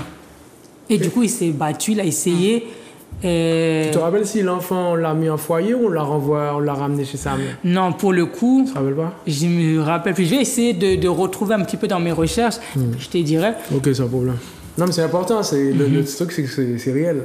C'est ça. On pense euh, des fois que c'est- ça dépasse la, ça dépasse pas la fiction, mais en fait, c'est réel. Oui. Il y a aussi les géniteurs qui choisissent délibérément Ah oui. de juste faire. un- Ah oui. Voilà, Ouais. pourquoi? Parce qu'ils considèrent il est passé par là, il a marqué son territoire et chaque Ah, enfant oui, représente. Oui, oui, oui. Voilà. Il y en a de ceux qui ont reçu J'ai- cette euh, culture-là et qui la retransmettent et, euh, sans, sans avoir conscience de, de la destruction, hein, de ce qu'ils produisent chez l'enfant qui subit en fait euh, cette absence de paternité Et et, ça, c'est- et ou de maternité, puisque maintenant, euh, Mais ils recherchent de l'attention. Tu sais pourquoi je- j'estime euh, qu'ils recherchent toujours de l'attention? Parce qu'en faisant, en agissant comme ça, Mhm. c'est-à-dire que tu veux juste euh, qu'on dise c'est à toi. Tu vois C'est c'est toujours de l'attention en fait. C'est se, Ouais, ce sentir dans une position de, voilà. C'est se sentir dans une, dans une situation de pouvoir, tu vois, de puissance. Je veux dire, regarde, c'est mon enfant là aussi. Je me rappelle une année, il y a, il y a une amie qui me disait que le père est venu dans une, il est arrivé dans, euh, non, elle est arrivée dans une résidence, mais elle lui prêtait sa voiture. Donc, il est déjà venu avec la voiture dans la résidence et un jour, c'est elle qui vient. Et elle vient, elle baisse sa vitre et elle entend papa à gauche, elle entend papa à droite, elle entend papa de l'autre côté. Elle dit hein? Et en fait, c'était les enfants du, de, de son gars, tu sais, enfin de son compagnon à- au moment T. C'est quand même, tu, Tu vois, c'est quand même, a- c'est chaud à recevoir euh, comme information. on a tendance à oublier que les enfants grandissent. On exerce notre parentalité un certain temps. hein. La vie veut que, à un moment, ce sont les enfants qui s'occupent de leurs parents. Et comme je suis professionnel de santé, je peux faire régulièrement le constat. Euh, quand tu n'as, on récolte ce qu'on a semé. Quand tu as été un parent absent, l'enfant aussi te fait sentir son absence sur tes vieux jours en fait. Et on a tendance à oublier que euh, le comment dire Il y aura un retour de flamme. il y a un retour de flamme et que ça change en fait. Et ça fait que quand tu, tu es sur tes vieux jours, tu réclames, tu dis Ah oui, c'est mon enfant, j'ai fait tout ça pour toi, je t'ai donné des légumes, je t'ai donné euh, des maracujas, je t'ai donné des fruits, je t'ai donné. C'est là où on se, on se rend compte qu'on doit se rendre compte. En tous les cas, moi, je me rends compte en tant que professionnel de santé, les deux générations. Le choc inter- intergénérationnel qu'il y a eu, oui, j'ai ton nom, oui, j'ai ton sang, mais je ne t'identifie pas comme étant ni mon père ni ma mère. Et aujourd'hui, moi, je vis ma vie. Et ça, c'est le danger aussi euh, qu'on court. euh, et on s'expose, auquel on s'expose, hein, hein, avoir de vieux jours sans les enfants euh, et seul. La solitude des personnes âgées, c'est quelque chose qui est terrible. hein. C'est quelque chose qui est terrible et qui est difficile à vivre. Et ça fait que, ben, c'est pour ça aussi hein, que, que, que j'interpelle sur la parentalité très tôt, qu'on sache comment investir dans la vie de l'enfant parce que on peut imposer sa parentalité un certain temps à l'enfant avec tous ces concepts, toutes ces lois, l'enfant me sert et tout. Sauf qu'à un moment, l'enfant lui-même grandit et il se rend compte que c'est c'est pas ça. Tu n'as pas été un père parce que moi-même je suis maintenant père et je vois que je ne, suis, je ne peux pas être père parce que je n'ai pas eu de modèle. Je ne sais pas ce que c'est. Je ne sais même pas gérer mon argent. Je ne sais même pas gérer mon couple parce que là où je t'attendais en tant que père ou en tant que mère, tu ne m'as pas donné l'information, tu ne m'as pas transmis euh, la ressource nécessaire. Et c'est là où ça devient intéressant de se demander, mais au final, la famille sert à quoi? Est-ce que c'est juste un espace où je, mes parents me donnent, à- enfin les parents donnent à manger et à boire aux enfants, assurent une sécurité matérielle, assurent une sécurité émotionnelle, affective, ou est-ce que c'est plus que ça en fait? Ou est-ce que c'est un tout? Voilà. Donc, ça- ah, ah, Oui, vas-y, vas-y. vas-y. Ouais, c'est ce que tu disais euh, me force forcément en fait à rebondir. Et puis même toi aussi quand tu as parlé de du tout, euh, souvent on a, on tendance à voir que c'est cet aspect-là qui est rempli. Si on devait faire euh, euh, une liste, on va cocher les besoins primaires, se loger, se vêtir, euh, nourriture, etc., etc et l'attention émotionnelle, affective, etc. Cochons ça aussi. Est-ce que nous sommes que ça? Ou est-ce que nous avons juste besoin de ça pour construire nos vies Et quelque part, on, se rendra compte que non. Tu peux avoir ta maman qui te dit ou ton papa, je t'aime tous- tous les jours de ta vie. Je t'aime, je t'aime, ah, tu, es- tu es comme ça. C'est très bien. Est-ce que ça, ça va le protéger des réalités en fait de la vie du monde? Non. Et c'est pour ça où euh, il y a certains géniteurs aussi, ils pensent que ah, en ayant donné de la nourriture, comme tu dis, des fruits, des légumes, de l'amour, ah, je t'ai toujours fait des, car- des, des câlins, des bisous, des... c'est très bien. Mais je peux voir comment même des animaux, Oui, des animaux, Tu caresses la personne et, Oh, voilà, et puis voilà. font- des... Mais ça, ça nous lance pas dans la vie. Avec tout ça, tu arrives, et je prends l'exemple là, tu, tu as euh, surprotégé, couvé ton enfant, des caresses, des bisous, des câlins, des, des chocolats, des- de tout ce qu'on veut. Donc l'enfant va trouver que, ah oui, il est il, il, a, il était comblé. Il a eu les meilleurs parents du monde, tout. Il arrive, il sort pour aller à l'école. Il est confronté à quoi? Les harcèlement rejets, scolaire, le harcèlement scolaire, telle chose. Ou l'échec, L'échec, hein, ouais. exactement. Même, même le manque d'attention, parce qu'il a tellement l'habitude de l'avoir. Exactement. Que quand il va arriver à un endroit où on ne le capte pas réellement, C'est ça. il va pas comprendre. Pour lui, ça sera un choc. Mais ça va créer forcément quelque chose dans, dans son mental, dans son psy et son psy. Exactement. Donc, tu l'as pas protégé. Tu ne l'as pas. En fait, tu n'as, tu n'as pas construit et mis Exact. les éléments, les outils dans ses mains pour que il puisse faire face à l'avenir, face au monde. Parce que moi, j'ai un, un problème avec. euh, souvent, j'entends des personnes. L'amour, l'amour, l'amour, c'est bien, mais ça ne suffit pas. Les, les bisous, les câlins, tout ça, c'est important. Je ne dis pas que non, il ne faut pas. Et je suis pas là euh, comme en mode père fouettard. Non, il faut. Non, c'est pas ça. Mais ça ne suffit pas. Lorsque, parce que l'enfant, c'est pas la réalité. Ça, c'est vrai avec papa, avec maman. Mais lorsque tu vas euh, à l'école, parce qu'ils commencent dans ça, l'école, et ils passent la majorité de leur temps à l'école. Donc maintenant, s'il a une maîtresse ou un maître qui a ses propres problèmes et qui passe ses nerfs sur les enfants, qui n'a pas de pédagogie, etc., qui, et il suffit que l'enfant. Parce que les- nos enfants sont toujours beaux à nos yeux. Ils sont toujours parfaits, ils sont toujours... Bon, la plupart du temps. Mais aux yeux des autres, c'est pas forcément le cas. Maintenant, l'enfant peut être contraint d'être rejeté, d'être voilà harcelé, comme tu disais. Il y a toutes ces choses-là. Le, le professeur ne pas, ça passe juste pas avec ton enfant. Donc ça va être l'enfer pour lui. Mais comment il va faire face à ça? Comment va-t-il faire face? Donc, c'est pas juste ces aspects-là de il a bien mangé, il a une belle chambre, il a des beaux jouets, on lui fait des câlins. C'est au-delà de ça. Parce que pour moi, d'une certaine manière, ça, après c'est pour moi, hein, ça rentre toujours dans le cas de géniteur et pas des parents. Parce que les parents sont en train de construire la vie de leur enfant. Ils leur donnent toutes les cartes, tous les éléments pour réussir leur vie, pour faire face à la société, parce qu'ils ne seront pas toujours présents, ils ne seront pas éternels. Et en tant qu'un parent, on doit construire en se disant, je ne serai pas toujours là. Je ne sais pas, aujourd'hui on peut être en bonne santé, on peut être bien, on sort du plateau, et une voiture nous fauche. J'ai été un, un excellent parent, un excellent père, une excellente mère, mais l'enfant se retrouve privé. Ce matin, j'étais en. Laissez-moi vous raconter, si, sans prendre trop de temps, une, une- histoire qu'on m'a relatée. Donc, j'ai une amie qui est partie un, un- deuil ce week-end, elle était un enterrement. La maman avait 32 ans. Et la petite avait, elle était euh, mère célibataire. Parce que le, le géniteur, eh ben, il a occupé pleinement, avec beaucoup de, de, de, de force, sa fonction des géniteurs. Donc, il n'était pas là, il était absent. C'est bien dit, c'est bien dit. Donc, c'est bien dit. un bon géniteur, fidèle au, au poste. Donc, ma petite, deux ans, deux, non, trois ans, elle avait trois ans, elle avait trois ans, s'est endormie avec sa maman dans son lit et sa maman ne s'est plus réveillée.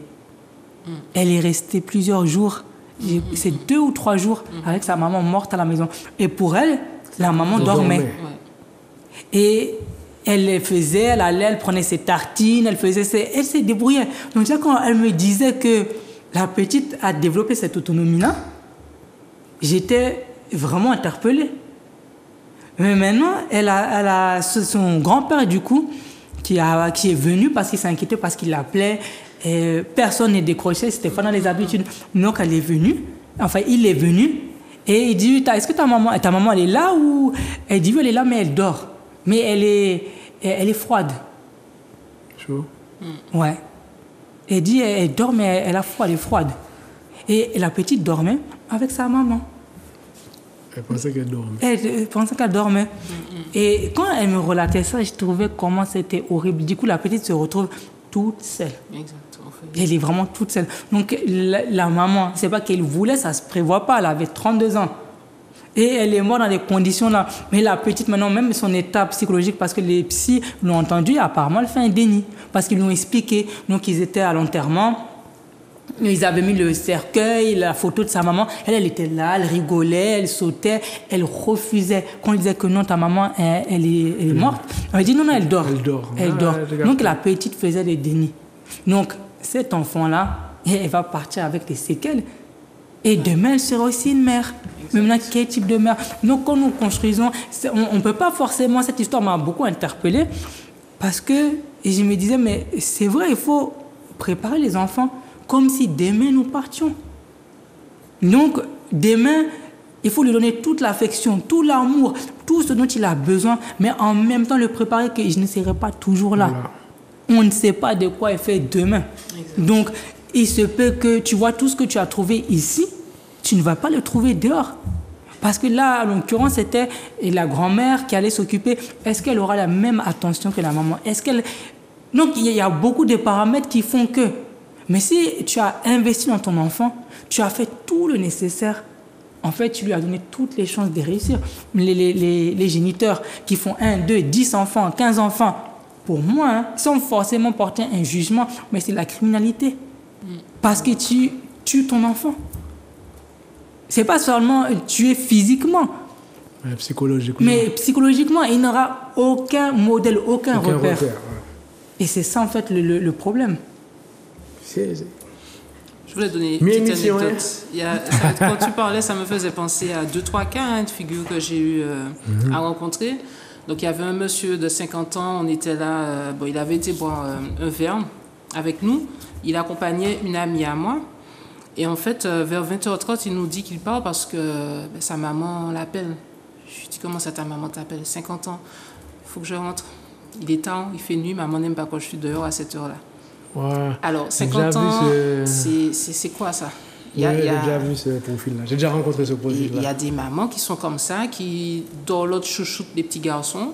Mais il faut que tu viennes à la maison t'occuper de maman. Alors que non, c'est pas comme ça. Il faut, il faut qu'on sache qu'en tant que parent, on fait les enfants, mais pas pour soi. Mm. On les fait pour que eux, ils puissent à leur tour avoir leur vie d'adulte, avoir leur vie d'époux, de femme. Mm. Et leur vie de parents. Il y aura une thématique sur ce, sur ce sujet-là. Mm, J'appelle ça, moi, les suceurs de temps. C'est pas forcément le meilleur des termes. C'est parents toxiques, en fait. Mais, euh, mais j'ai du mal avec le mot toxique. J'ai du ah. mal. Maintenant, non, non, mais je, je comprends le terme, mais j'ai un peu de mal. Mais euh, ce profil-là, pour moi, ce sont des parents qui ont échoué quelque part et qui, se, qui ont privatisé leur enfant pour ne pas se, se rappeler qu'ils ont échoué. Exactement. D'où des géniteurs. Ça, c'est un autre type de géniteur aussi. Donc, vous inquiétez pas, la thématique sur les géniteurs, génitrices, ça arrive très bientôt dans l'émission Papa, Papa, Géniteur. Et tu vois, ce type de profil-là, de mhm. parents-là, quand ils font des enfants, les enfants eux-mêmes ont du mal à se griffer à leur vie mhm. et à leurs responsabilités. Pourquoi? Parce qu'ils ont un regard toujours sur maman, papa. Et ça fait que, au lieu de bâtir leur propre famille, ou au lieu de s'impliquer pour leur propre vie, eh ils vont regarder ce que maman, papa fait. Et pour, peu mm. que les parents décèdent tard, eh ben, ils se retrouvent à 50 ans, 60 ans sans rien dans la vie. Mm, mm. Et ça, c'est dangereux, c'est grave. Et il y a justement, quand tu parles de ça, euh, donc au final, l'homme, est-ce que je peux dire même l'homme? Parce que là, pour moi, ça remet en question même mm-hmm, cette position, cette dimension-là d'homme, parce que tu restes un, petit garçon, enfin un garçon. Exact, Donc le garçon qui s'est marié, ou qui est dans, dans une relation avec une femme. Donc, c'est la parole et la considération des mamans plutôt que la femme qui créera aussi un conflit et qui fera, qui sera un obstacle, un frein à la famille parce qu'au final, c'est toujours la grand-mère ou la mère là qui décide et pas l'épouse. Donc ça, ça, ça biaise aussi, ça brise aussi la communication dont on parlait, des relations. Ça, c'est un facteur aussi qui est là.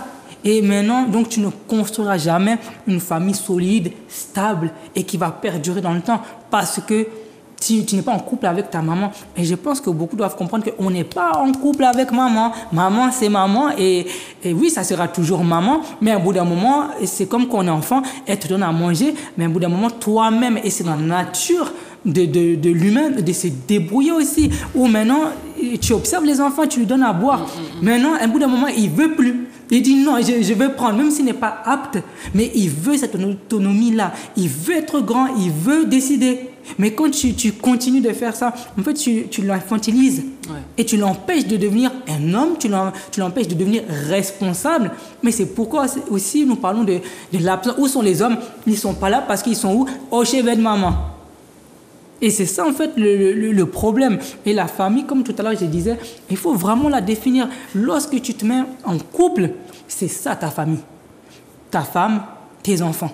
ou ton mari, tes enfants. Tu ne peux plus laisser et la grand-mère et le grand-père et l'oncle ou la tante ou je ne sais pas qui décider. On peut toujours donner des conseils parce que voilà, il y a l'expérience de la vie, il y a, il y a voilà, toutes ces choses-là.